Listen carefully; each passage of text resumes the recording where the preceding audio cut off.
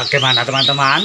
Masteran burung kenarinya. Nah, itu kedengeran sampai sampai ke sini guys.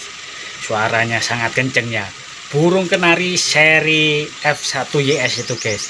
Burungnya sangat gede gede toh guys. Tapi belum Yorkshire itu guys.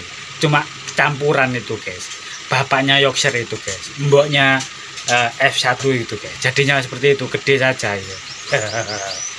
Oke teman-teman saya rasa cukup sekian untuk video kali ini. Mudah-mudahan anda terhibur. Sekian. Terima kasih dan matur nuwun